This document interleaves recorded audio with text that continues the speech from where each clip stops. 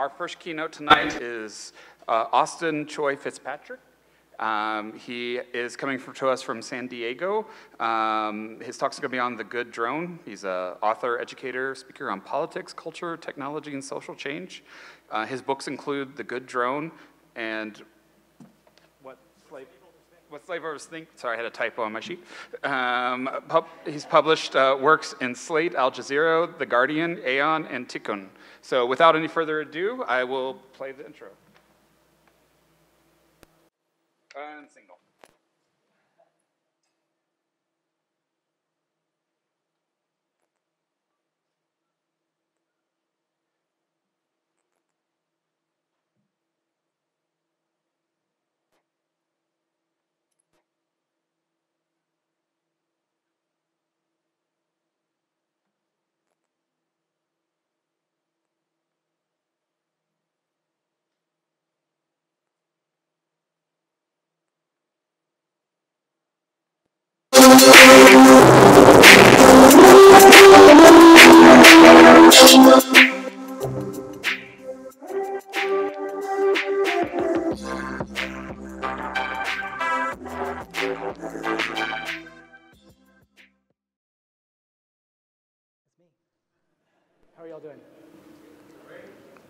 Really happy to be here.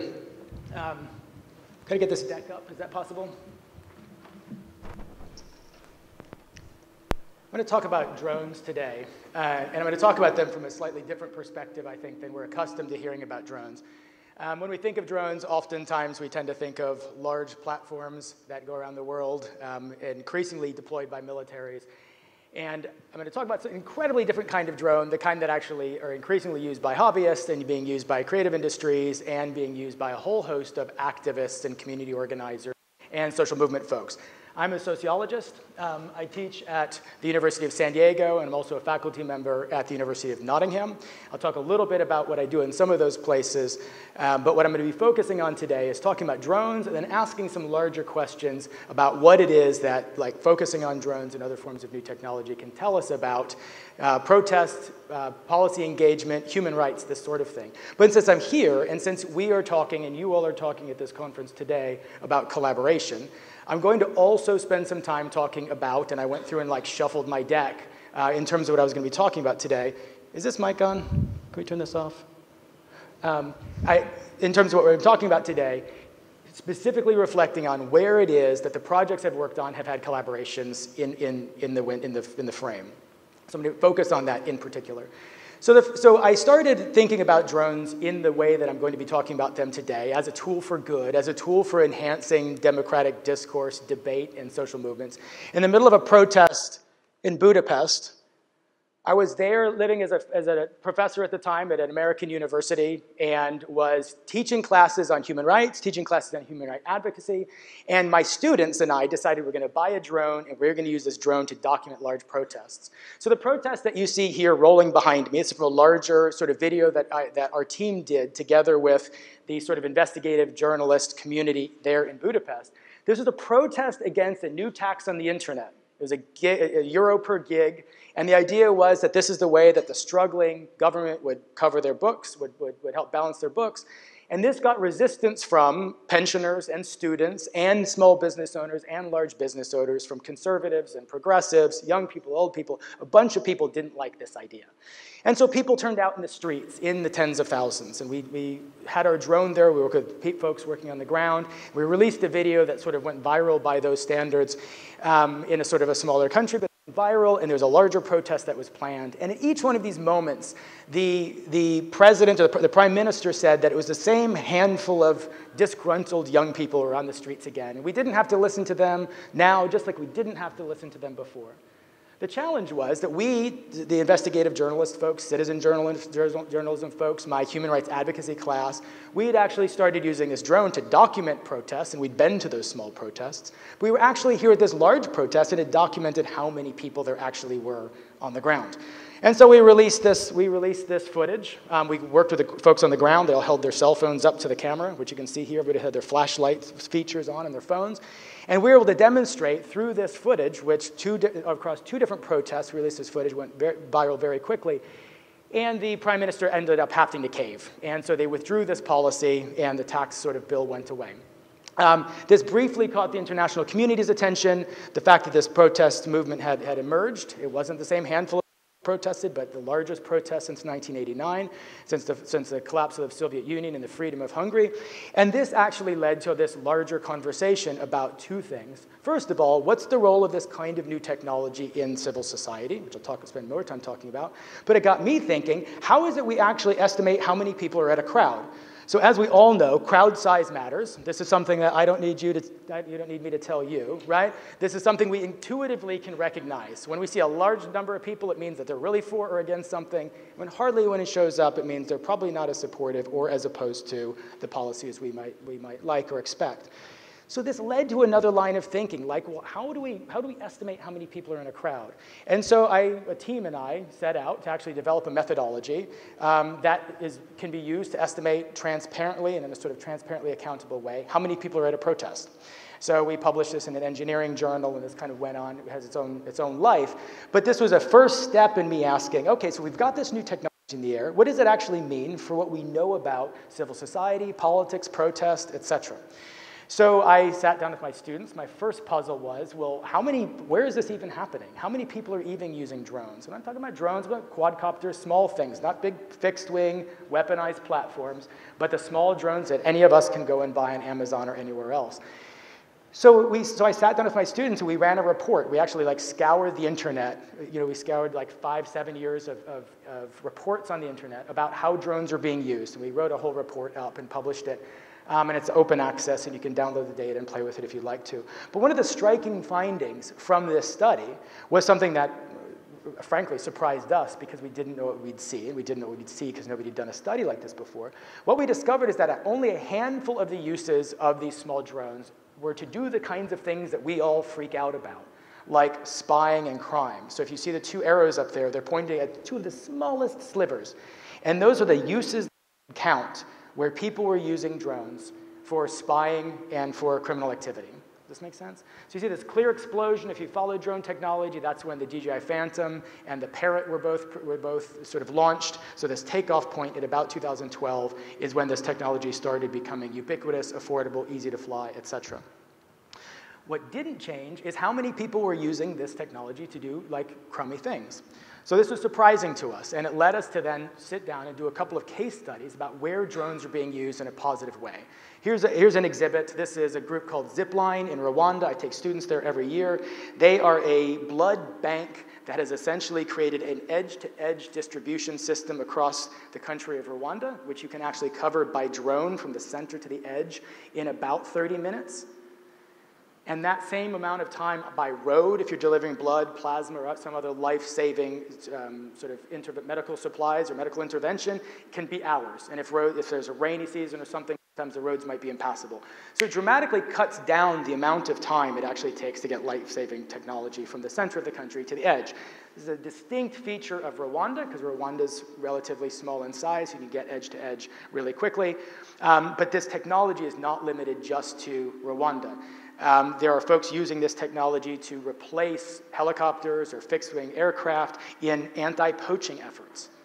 And so there are folks who actually have small drones that they are deploying in the field in order to, to support anti poaching efforts. You can track either the, the animals themselves and know where your elephant population is, for example, or you can use them to surveil unusual activity where there shouldn't be people wandering around with guns in a particular protected area, flag them, alert the authorities, and the authorities can step in and do something about it. So technology, so, so drone technology is being used in these ways. It's also being used to sample water to get at places we couldn't get at before. You drive up in a boat and you sample the water, then your boat is in the water where you're sampling. I won't bore you with the scientific um, sort of back end, but it disturbs the environment that you're in. Drones can actually come in and, and, sample directly from places where you wouldn't want to disturb the ecosystem, like water sampling, for example, or where you really shouldn't be or can't, like volcanoes. You can now just fly, fly drones into volcanoes and like grab stuff and leave which we wouldn't want to be doing because we'd melt. So drones are actually able to do these things in a number of places that we couldn't get to or where, where being there would have sort of fouled up the sample. It's also allowing us to more rapidly do things we were able to do before. So sampling over top of uh, vegetated areas and figuring out sort of what's happening in those places. This is important for farmers.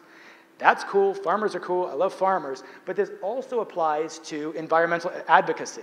So we have areas of deforestation, essentially, where um, illegal logging interests know exactly how the Ministry of the Interior monitors uh, deforestation and illegal logging. Illegal logging. How do they do it? By coming by boat through remotely, remote and inaccessible areas. So look at this image on the right. It's hard to see maybe with the lights, but the, uh, the clearing, the, the illegal logging in this image has been done at the other side of a large stand of trees where the officials who go down the river will go in their boats, look and see trees on either side, and say there's no illegal activity here. Does this make sense? That perspective completely changes from the air. You can't get away with that from the air. Now, can any government anywhere afford to always be flying airplanes and satellites over every inch of their country in order to be monitoring illegal activity? And let's say that place is, let's say the Amazon? The answer is no. So drones actually, in this case, lower the price of something we could already do with airplanes. So drones are changing some stuff we think about politics, changing stuff we think, what we think can be done around environmental advocacy, and changing what we think can be done um, in a number of areas where we're already doing stuff. But then we have a new puzzle. Where will these things fly? This is something that's very, very underspecified. Public policy on this is sort of uh, um, up in the air. Will they fly sort of in, in, in routes? Like, will they small highways in the sky where these things will fly? Or will they, will they all have some sort of artificial intelligence conflict avoidance relationship with one another, and they'll fly dynamically and just sort of like, I don't know how murmurations of larks do it, but not bump into each other in this way. Where will they go? This is an important issue of public policy. I live in a densely populated city. And nobody wants these things flying over all of our houses and communities and beaches and wilderness areas and the places where we ski. So the question is like, well, where will they fly? Important puzzles for public policy. And I think this is a, an, an important area where we need to have discussions about some of these strengths, but also the difficult conversations about what's going to happen next. Um, so what is all of this, like what's the bigger picture here? And this got me thinking more about space right? So new technology, I already said this, new technology in the air changes politics on the ground. And it got me thinking about the arts. And it got me thinking about there's this whole movement, a, a movement in the 70s in, in architecture and in a couple of different artistic communities that was rejecting the museum circuit, the New York City-based museum circuit, right? So where do we do, where do we do our art? This is the Spiral Jetty, this famous piece, right, that can be viewed from space. This is a picture from Google Maps. So this is an art installation that I appreciate, maybe you appreciate, that you're viewing from, you know, orbit, right? So where, so where are canvases? Where does our art belong? Where are the places that we can actually produce creative, creative stuff, right? Um, here's another version of something that is on the ground and can only be seen from space. This is a three mile long poem by the Chilean by a Chilean poet, and it says in Spanish, no shame, no fear. He's tortured by the Pinochet regime. And this is, his, this is his response. His response to the torture he suffered under an authoritarian regime was to write a three mile long poem in the desert that only you can see. And if you were in the desert, you couldn't see it. So who, so who is art for? Where, do we, where are viewers? Where's the, where, where do our, our installations belong? And again, new technology in the air changes politics on the ground, as I hope I demonstrated with protest in Hungary, but it also changes what kind of places emerge as canvases, what kind of places we can actually make our voices heard. Um, I came to those two studies after I was contacted by an activist in Hungary, again, while I was, while I was living there, who said there is this large stadium that needs a large parking lot, and the mayor wants to bulldoze a community right next to, the, to, the, to this entire um, stadium in order to build a parking lot. The problem is, who's that, whose community is that? The community belongs to the Cinca Roma community right? This radically marginalized ethnic group that's been, that has been punished through the Holocaust, punished and, and economically and socially marginalized across Europe for time out of mind. And so the mayor was using the excuse to build a parking lot in order to bulldoze a community that he, of people he didn't want in his community, right? So the activist who approached me said, you know, this is really great that they need a parking lot, but there's actually an empty field right here and so the stadium's here, and he wants to bulldoze this area, but there's a stadium right here. And he said, What if I sneak in in the middle of the night with a, bull, with a, with a pickup truck and I dump a load of rocks and I make a parking sign there and we fly a drone over it? So we created a parking sign on the ground, and then we flew the drone over this marginalized community, and then over the stadium, and then over this, over this parking sign. The punchline to the video was this is a community this is a stadium that needs a parking lot, and you could put your parking lot right here, right? But the way to tell that story was actually com- more compelling, I would argue, because we were able to represent visually that thing I just did. I just did a flyover in front of you. And you can see actually the relationship between these things. And then ask yourself, well, if it could be here, why would it be there?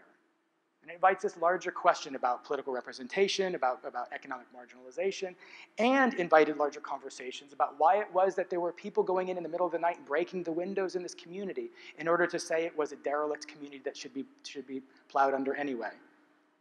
So these, these ways of representing what's on the ground, technology changes our ways of representing what's on the ground, artistically and in terms of advocacy. New technology in the air also changes what we think of the sky and the ground. This is the best graphic I have to represent this. This is um, an artist named Ruben Pater. He's Dutch, and he put this thing together um, that allows people on the ground to identify weaponized drones by their silhouettes. And on the other side, there's a whole section on how to hide from drones. So in this new book, I have an entire section on how to take drones out of the air, how to hide from drones, right? It invites new kinds of political relationships with the sky. And so, if we have new technology in the air, it invites new thinking about politics, it invites new thinking about art, and it invites new thinking about the way that we relate to the sky, even. It sounds strange, but I think there's a future for that sort of thinking. It also changes the way we think about vertical spaces. This is graffiti, a graffiti drone from the artist Katsu who has done a number of installations that, in which he's essentially attached a spray can onto a drone. There's entire communities. I, I interviewed these communities from my new book and talked to them about the, the challenges of actually mounting spray paint to drones. And you've got prop wash, and you've got accelerant issues, and there's a whole bunch of really interesting sort of uh, back end engineering puzzles here. If anybody wants to talk more about this, I'd love to, but I won't bore you with it. But it turns out it's really hard to make a graffiti drone, which is why their first efforts, oops, which is why their first efforts were really just little squiggles that, oops, I don't know, this is not going to be working, I think. These were little squiggles that were very high up. So we're in like super beta right now on the graffiti drone thing. But the puzzle for, for graffiti and public art has always been the big get and to be seen and to get your art out there in, way, in places it couldn't have been, maybe shouldn't have been, in a way that absolutely gets seen. So then the puzzle is if we have new ways of applying paint, then what new forms of art actually emerge? What, what sort of murals become possible? And if we have new ways of seeing from the sky, then what happens to our rooftops? Our rooftops new canvases? So again, new stuff in the air changes what we think of what's happening on the ground. Um, so now I'm going to talk a little bit about collaboration because cool. Um, so, so I'm talking right now about drones, but in this book, which is called The Good Drone and is about drones, I actually also talk about a whole bunch of other technology. Because I'm arguing, when I said new tech in the air changes politics on the ground, I'm not, when I say new tech, I don't just mean drones. Actually, also don't mean just new tech. I mean some old stuff too, like kites and balloons, and some slightly older stuff like satellites. So it turns out that there is a whole lot of work that's happening with each of these technologies right now to actually increase the number of eyes we have in the sky to do, like I would say, pro social stuff, and it increased democratization of who actually can do this. Um, I flew my drone a bunch, and then I bought a balloon.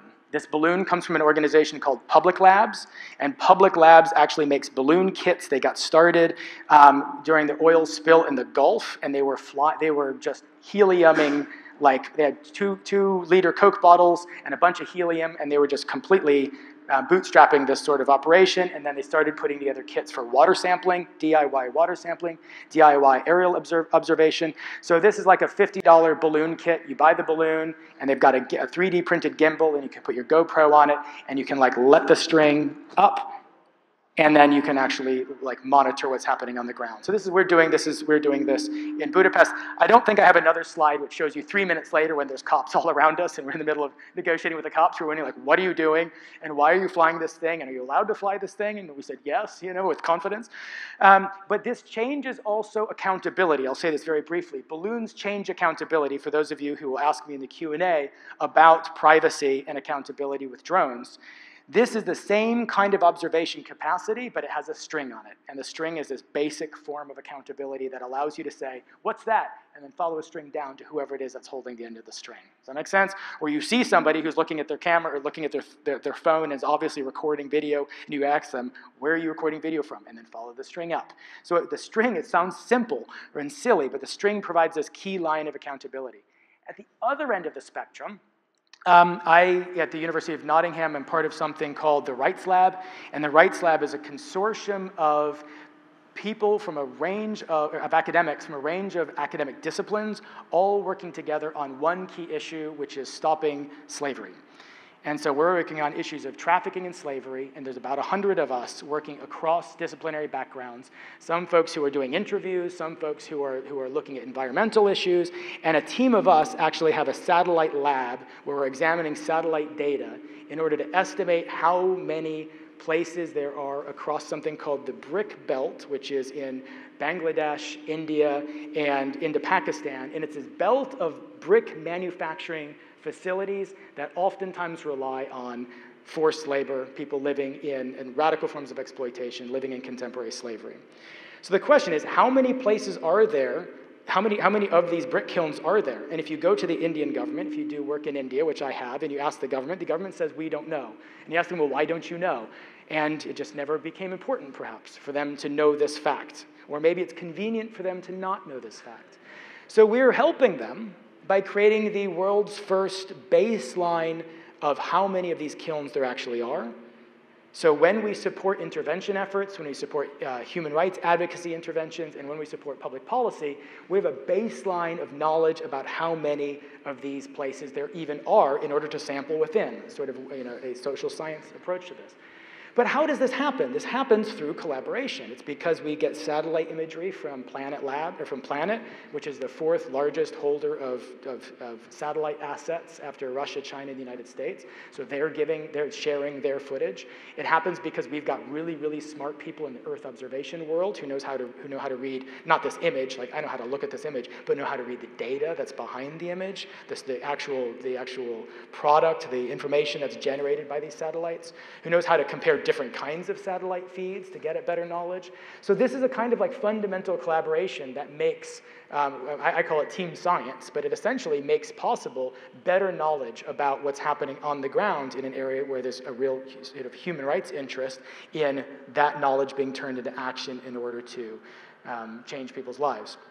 So this is another form of, um, of uh, collaboration.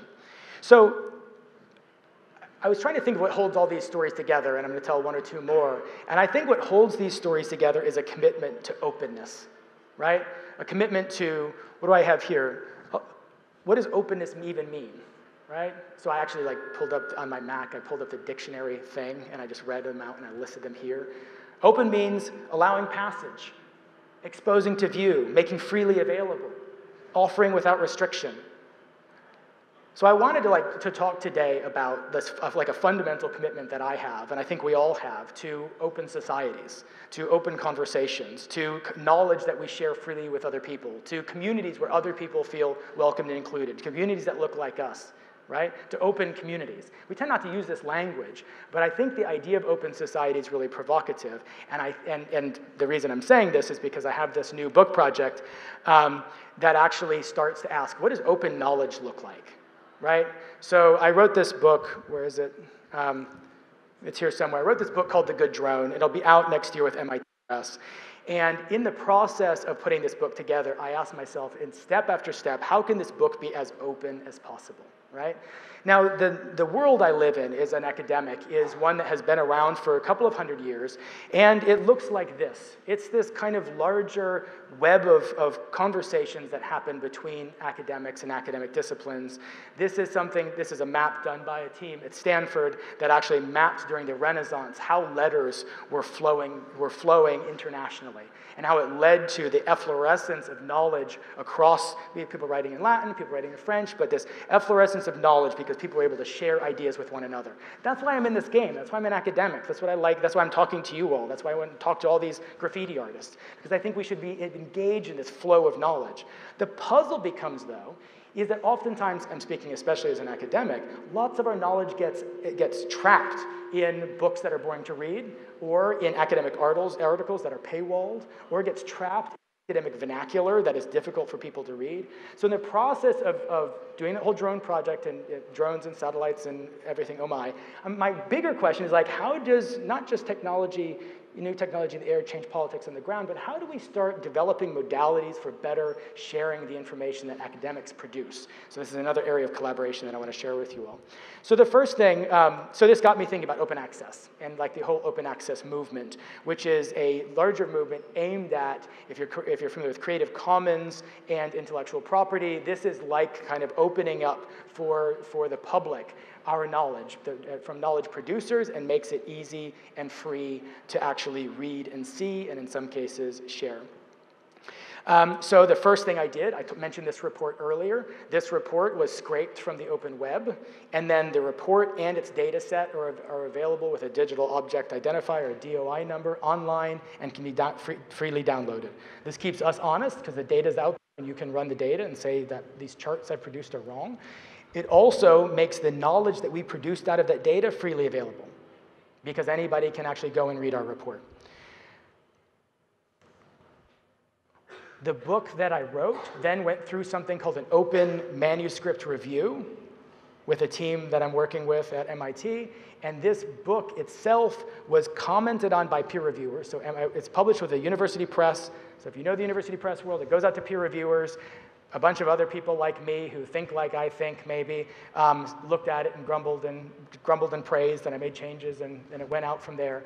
And that's usually where most books stop. It stops with me kind of getting a, a, a, a, eye to eye with other academics. But we took it a step further, and we put it out on the open web in a format that looks like this. You can go there right now. It's the Good Drone.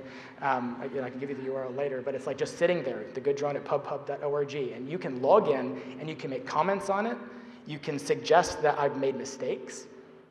You can suggest changes, right? And so we actually open this entire process up to the public. So this went through an open review process, right? The next stage is that this is going to be an open access book, which means you can buy the physical book on Amazon, you can buy the hardcover on Amazon, or you can buy the, the Kindle version. But you can also download a free PDF of the book, just completely free right? So, so the book is freely available in terms of its of the original data. It, the, the book was freely available in terms of inviting the community, other people who are non-academics, to comment on it. Where is it illegible? What, what might be wrong? And then the final product itself is actually going to be free, right? I'm happy to talk about any of this in the Q&A or afterwards, how we did this. And then I'm taking one, I asked myself, how could this be the freest book ever? And so I'm taking one extra step. And this extra step is we are going to then, after this book is free and out there, we are going to actually open the book to the public in terms of both reception and critique. So we're, we're in the middle right now, together with the Knowledge Futures group at MIT's Media Lab, of building essentially a heads up display or a dashboard for the book. So you can go and see the book, sort of the PDF, you know, online readable version of the book, and around it you can see how it's being reviewed, what people are saying about it on Twitter, whether or not people actually like it, or worse yet, maybe nobody's talking about it at all right? So we're going to start tracking the reception of the book, and then we're going to invite readers of the book to make comments on and change the book itself. So in this way, that static book, which you can buy as a, you can buy the Kindle, you can like download the free PDF. That's the fixed version of the book. But you're also going to be able to, to look at and edit and say, this was really great data when you wrote the book, dude. But new things are happening, or actually new laws have been passed, or there's a better way to do this, or ethics have changed, or this public opinion data that you cite is wrong. You all actually will be able to log in and make those changes on this book. That make sense? That raises a whole host of questions about, about who the author is, whole host of questions about if, it's, if the book is, has an ISBN, the sort of book registration, does this new living version, dynamic version of the book need a digital object identifier that's separate from that book that you may have like on your shelf? We don't know the, I mean, the, I really like this because I don't know the answers to any of those questions. And so it's an experiment. And it's an experiment fundamentally with other people. It's fundamentally an act of collaboration. So I've talked about a couple of things, and I think all of them are around this like broader theme of open. Open skies, open access. I put open minds. Maybe that's too like you know highfalutin. Um, but the idea is opening our knowledge to critique and to review and to larger conversations. Um, so, how, how am I doing on time? Can somebody tell me how I'm doing on time? Yes. Okay, I'm going to tell you another story. So, if I was out of time, I was going to say thank you. Um, so, this is me on on everywhere: Instagram, Gmail, Twitter, everything. achoifitz. And these are the two. These are my two most recent books. Good in my last book, um, what slaveholders think. I interviewed slaveholders, perpetrators of human trafficking and contemporary slavery. Um, so I'm happy to talk about that too in the Q&A or afterwards if anyone wants to. But since I'm here, I like spent last night tweaking this deck to talk more about collaboration. I'm going to tell you one more story about collaboration because we've had a bunch of conversations um, last night and then this morning i learning from you all and what you all are hoping to do here and what you all are actually doing here. And i wanted to talk about a project over the last year and a half that i've worked on that got started from the very beginning and all the way tell you the story from the beginning to end so, uh, some, so some colleagues of mine at the University of San Diego, where I teach, and I started talking about how we were going to. I just talked about all these new ways that the arts and drones are intersecting. Got me really curious about like what, what's happening in the arts and who's working interdisciplinarily on the arts and who's in the space.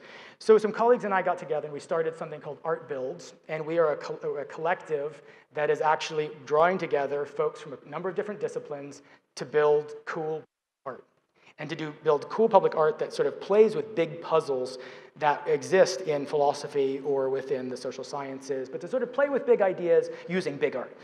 Um, and so we got together and we decided we wanted to do to take a piece of art to Burning Man this year. And so we sat down and we brainstormed and we brainstormed. Any of you know who, who know what a design thinking process looks like? We got started with industry standard brainstorming exercise, which was like a bunch of post-it notes. And this is our whole big going to Burning Man plan. And down here, this one little thing is our actual piece of art, which we wanted to be a sundial. So we got thinking, we want to make a sundial, we make a cool sundial for Burning Man.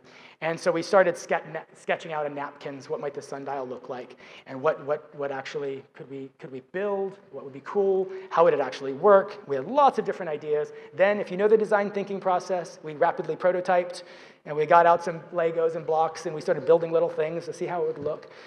And then we actually went into the software and we started mocking it up. We decided it'd be cool if we built a sundial that actually had a face where the, where the shadow of the sun traces over, over the face of the sundial. It'd be cool if you could climb inside of it, we thought. It'd be cool if it had like, like bits of, like, it had holes on the side. We could put art and then light could come through. We had all these crazy ideas. So we, again, we like rapidly prototyped. We started playing with shadows. We started talking to people who know about light, lighting engineers, people who know about the way that light diffuses through certain apertures and this kind of thing, which is, I'm a sociologist, not, my, not something I know. Then we started asking ourselves, well, if you could climb inside of this design and you could shine light through, then what would happen on the inside? So we started mocking up these, we started doing the mock ups here and trying to figure out, well, how would the light play? And at what hour would what sorts of words and what sorts of images trace in what sorts of ways? Oh, sorry, that's this. And then we went around and we did a bunch of fundraising because that's the important part of the story. I have no slide for that, the pain and tears of fundraising. Um, but that, and then we started building. And we started building on our campus. We started building this sundial. And we did it with a bunch of students who thought this was a cool project, and a bunch of our colleagues who thought this was a cool project, and, and set designers who thought this was a cool project and sort of lent, lent us like pieces of their expertise that we poured it in. Um, and then we built this whole thing on our campus, and then we stuck it all in a truck. Is that what I No, we, yeah, we actually built it on campus. Oh, sorry. I'm going to just go over here and do this.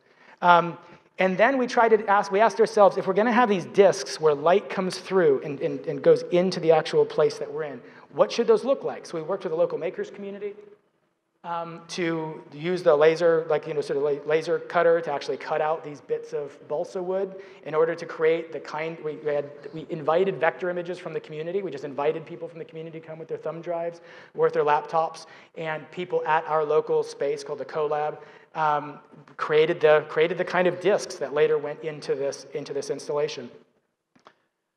We then tried them out to see if they worked on our campus. And then we folded the whole thing up and loaded it into a huge truck and drove it out to Burning Man. Right? And then at Burning Man, we built the whole thing up from scratch. So we had to build it twice. That was a real hassle. But we didn't want to bring it back type. Um, so we built this thing, and it was a sundial, and a sundial that worked in two ways. And I'll tell you about it right now. The, the gnomon, which is the, the part that sticks out that makes the shadow, there's a gnomon on the front, and the, and the shadow of the sun would trace its way across the layout for Burning Man, for Black Rock City, and it would tell you what time it was on Burning Man time. And then the entire, the entire uh, artifice itself, this sort of 30 foot long, 12 foot high thing, itself cast a shadow over the playa. And that shadow would then tell you what time it was according to all of these other time markers. And you can see there are holes in the time markers, and maybe you can't see that there are holes in the actual edifice itself. You can see the light sort of climbing, through, shining through there. People climbed on the thing, people climbed inside of it. See if I, yeah, people used these discs, installed them in the inside. We had a lighting engineer who did all of this, who ran, who ran all the Arduino for the, for the lights, and we tried to figure out how many, how, many, how many lumens do we need in the outside so you can see it by night. I have no idea how to do these things. It was only possible through collaboration, pulling together people in the community who all did this for no compensation, who all did this as a passion project, who all did this because they wanted to play on something that was kind of bonkers, kind of big, and kind of cool, right? So it's not been possible with any one of us. And in the end, we burned it because I told you we didn't want to take it home. So we burned this thing. We burned it to the ground, and it took a long time to burn, and we swept up all the embers. And now we're having a conversation. Who wants to do it again? What would it look like? right? What, what, what should the art project actually look like? And so this is the gang that, that got this started. This is us at the, at the burn before, before we burned the thing. Um, and we're now we're having this larger conversation about how do we hit, how do we then start a new cycle that draws on some of the same sets of relationships and resources and knowledge to do something new, right? And so I really, really, really think that there's something strong and important about that kind of collaboration because it's how we go from that sort of like rapid prototyping, early first steps where things are kind of like, you know, we're feeling things out. This is not at all what the final product ended up looking like. But the reason we were ended up being successful is because we tried, we found what resources we had, we did, we worked with what we could find, right? There are ideas we had that like were, we didn't do because we just couldn't afford them or they're the wrong they're the different sort of scale than we could afford we didn't have the right people for them but we built with what we actually had right and we did that that's in this way that started all the way from like the blue skying on a on a with a bunch of post-it notes and some sort of design thinking or you know design sprint or whatever kind of approaches that you all that we are all familiar with. Um, so that's my like little plug for this entire it's not about drones at all but this but about the the the the really important things and, and, and wonderful things that can happen when we start here, right? And we start here together and we identify what resources we have and we collaborate in order to be part of making the world look more like what we actually want it to look like. Um, and so that I, I, threw that in there for you all because I think that's a super duper important and like really delightful thing that I see that's happening here is this beginning of really vibrant conversations about who are we, who's in the room, and where can we take this thing and what does it look like. And I just wanted to say like that's a really really cool cycle and I can't wait to see how it works for you all. Um, that's it for me. Thank you all so much. I appreciate your, your attention and time.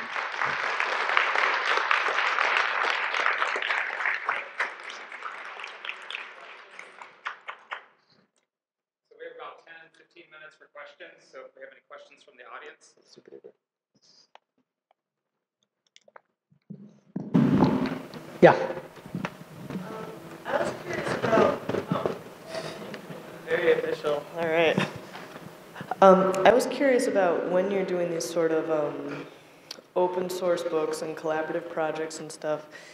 Uh, is it sustainable in that there's a resource base within academia and within these communities you're moving, or are you working from more of an abundance model where people just have the extra hours in the week, have the extra space in their brain to kind of, can we give this all to each other, I guess, or is a resource base necessary for that kind of collaboration? You sort of touched on the you know, the joys and agonies of fundraising, but just wondering, especially for smaller projects with people outside of that sort of academic world. Yeah, so that's a great, that's like such a great question. There's two answers to that, and the first is that I absolutely have to, I mean, so I'm a professor, and I am, paid a salary to be a professor. Um, nothing I'm talking about right here is really a clear and obvious part of my job description, right? Um, I'm a sociologist going to doing art at Burning Man doesn't count anywhere on my vita, you know. So it's like this is you know, people are like, oh, great. so, so, so in that way, I like have to like the fact is I have an income and I have a salary, and that's like a very real thing, right? But then everything else, though, is all grants and sweat equity and with a bunch of people who are down to share. And so a lot of it's just sharing economy kind of stuff. Um, and that's the easiest answer to give, but that kind of disappears the fact that I have like a, like a you know, sal- that salary makes a lot of that stuff possible. And so I think those two things interplay at, at different levels with different folks. But, um, but I think it's an important thing to surface. Great question.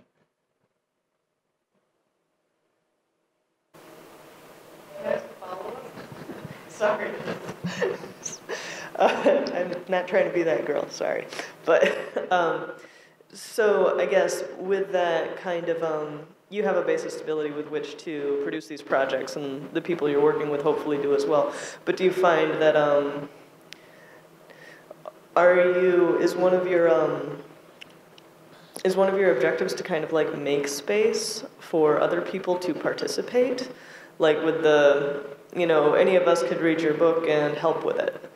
Where, you know, even if we've only got a couple hours a week or something like that to invest in reading and checking or I'm just wondering if it is if it is also a way to make space for people that are working from less of a base of security like that to have a way to participate and a voice in these sorts of things. Um, platform that the platform that hosted the the open review of the book and and with whom we're developing the actual um, this new display, this new thing, this new way of representing a book. Um, that platform and those sorts of services are available to people who don't have any resources, essentially. Who can? I mean, it's like a, it's like if you think about Wikipedia, like sort of create a Wikipedia page or engage in that kind of process. Um, one of the things that I, I'm not clear on is what the best way is for those platforms to create opportunities for everybody to win equally. So even the example you gave is like, oh yes, anybody could contribute to my book. Well then, what, who's, who wins from that, right? It's the person who wrote the book. So this is a, this is a side note, but my, my like secret, my secret hope is that actually this living version of the book, I end up like losing control of it because in fact so many authors or so many additional people end up saying things such that the authorship becomes obfuscated. And it'd be really cool to like, I'd love to have like a class action lawsuit against me by the authors right? And so the authors, like this, uh, this insurrection of, of new authors against, you know, whoever it is that essentially brought that first proof for the sourdough. But then at the end of the day, like there's a bunch of other cooks and chefs and bakers who are like working within that space. Does that make sense? So I, so I think that there's opportunities for this stuff to actually cycle out in its own lives in terms of what it means, what is the author, what is knowledge, who has knowledge. Um, but I think a lot of those are premised on access, knowledge, and time, and those are really continue to be things that people have. People who have lots of resources or don't have so much, you know, lots of time because they, they you know, the, the one resource is time. And I think the question is, how do we more equitably distribute the gains from new technology um, to, you know, so it's not just the winners who continue to win, but there are other communities that can win as well. For example, I don't have a remuneration model in that project I just described. I didn't even thought about it until just now, right? So I don't have a way of essentially saying, if you make this project better for all of us, you win and we win, and you win economically in some way, and we all win because better knowledge. So I'm, I'm, gonna, I'm talking too long on this, maybe because I don't have a good answer, but that's, that would be one way of actually better distributing some of these, the, these rewards. Yeah. Where? Oh, I, I really like the idea of the living book and um, this collaboration and openness with different people. But I'm wondering if there are a bunch of chefs in the kitchen and there's different levels of expertise, um, how it will be, how it will contribute to better knowledge, or why would I want to read something that's um, been contributed to by people that might not have expertise in what they're putting in. Are there limitations to what they can add? Is there someone like fact checking, fact checking what they're saying? So it's a great question. So, so the, the there's like several different ways you can design this. So one way you could design this is actually to just open it up entirely, in which case it would probably become the favorite playground of dozens of bots. So it would just get rewritten by bots, right? So can, I can imagine this, one version of this is a completely algorithmically destroyed text, right? Um, and another would be where, to, to, to your point, where one has to have a certain level of be vetted because one has a certain level of quality contribution um, through some sort of editorial process. And, and somewhere in between would be it's only humans that can comment, but we don't like really judge um, what the content is. And that's and I think and, and so there's we, I could do each one of those. Um, I thought about inviting different subreddit communities to edit the book, you know, and just and seeing how the book evolves separately, treating it like a natural experiment almost. So it really depends on what we want the book to do. And if we want it to represent the best knowledge out there and the most cutting edge knowledge out there, then maybe we need to compensate people who come in and are doing the cutting edge work to make this the cutting edge book. And we don't have first edition, second edition, but it's more like you go and look at the dynamic version of the book and it's the best it can ever be right now. Right? Or maybe what we do is we just push it out into the world and see what happens. And those are different, those are both, I mean, we stop, the other question here is do we think about this as a book or as an art project? And if it's an art installation, then the fact that it's all of a sudden no longer readable is not a threat, it's a feature. Or it's, a, or it's not a feature, it's like a thing we learn about human nature, which is, wow, people just messed that up. Or, yeah, I don't know.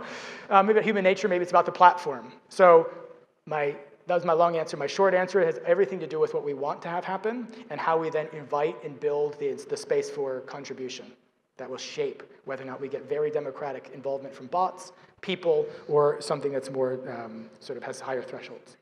Great question.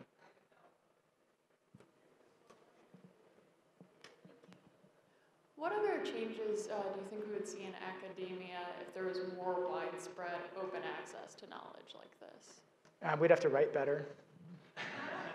um, so I, I, mean, so so this is a this is a great question, and the big question here is essentially over the last couple of decades, major corporations have set up toll booths at every single information highway opportunity possible. So if you're on a campus right now and you want to go and look at an academic article that, and you're able to see it, it's because your university has actually paid a licensing fee for it, and they paid that licensing fee to a bundler, and the bundler is usually a major multinational corporation that essentially earns more money than Apple or Amazon or I guess Uber doesn't make money, but like actually make, has, has better revenue than any of these other major corporations that we've all heard of. And they do that simply by charging a tax to universities for the, up for the opportunity you have to access knowledge.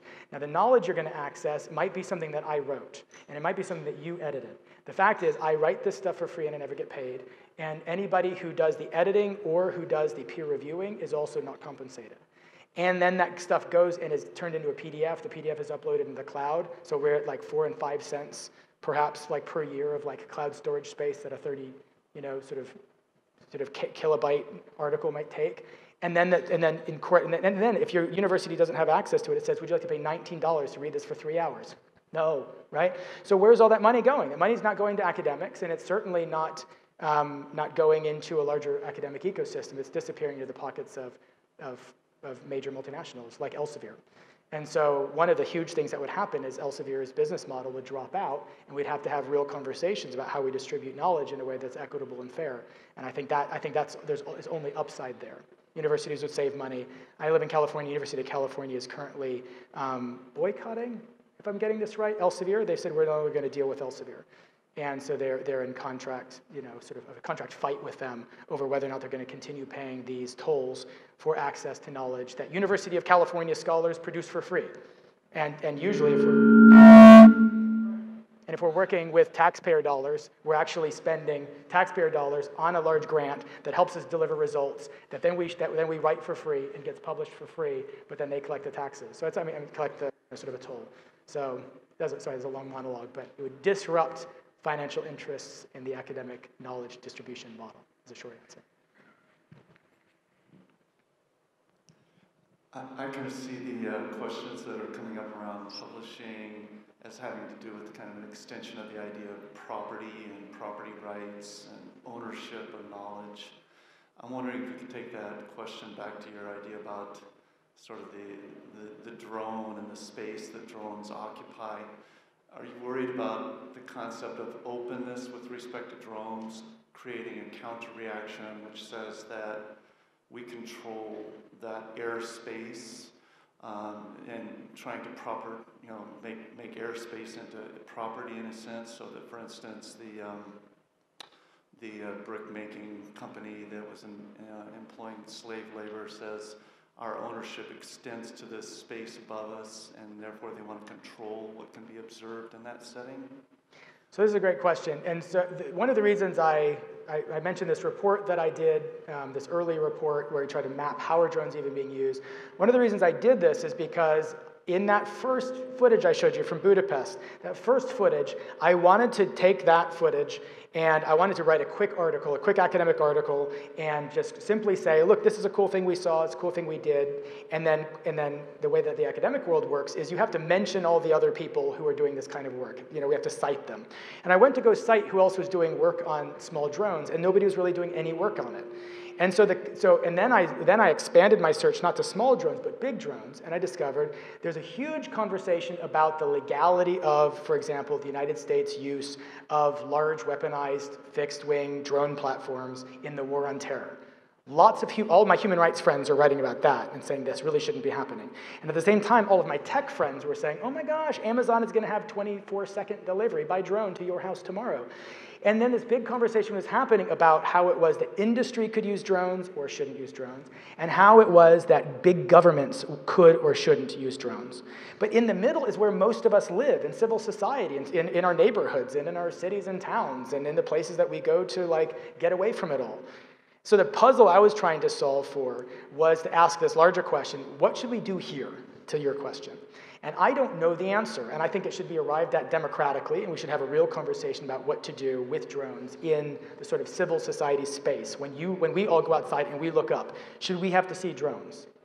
And I wanted to be sure that conversation was happening with public policy folks, with lawmakers, thinking about us and our air, let's say, rather than just whether or not the military, the US military, other militaries do what they do with these drones, and Amazon does what it does with its drones. And so that's a long way of saying I think we need to have big debates about that question. And I think that a lot of the laws we looked at, we did an analysis of all the laws in the country, and a lot of laws were focused on essentially either saying drones can't fly in our communities or police drones can't fly in our communities. So more progressive communities were saying police can't have drones, and, and just a random assortment of communities were saying we don't want drones flying in whatever space they're in. Um, I just want to have a larger conversation about that because one thing that I do know in Budapest, I showed you this video and I said that we won that legislative battle. The government withdrew its internet tax policy. But six weeks later, my team and I got an invitation to a conference that was meant to introduce Hungary's new drone law. So we changed public policy for sure, right? So the, in the new drone law said if there's any police action anywhere, you can't fly over it. Well, what is a police action anywhere? Right? Well, that's a great question. And I mean, and, and, as somebody who's like radically sympathetic and in solidarity with the Black Lives Movement, then the question is like, well, is, well, what about police action means it can't be surveilled? Maybe the police should be surveilled. Maybe it's incumbent on democracies to know what the enforcers of its laws do and how they spend their time, and to audit them and hold them to account. And there are clearly communities who wouldn't agree with that statement at all, which is why it requires like a vibrant democratic debate about, you know, how should we be using these things. And I think we should, and, and that's a, sort of a larger conversation I hope we, we start to have more of. Yeah. I can't see. Okay, got time for one more.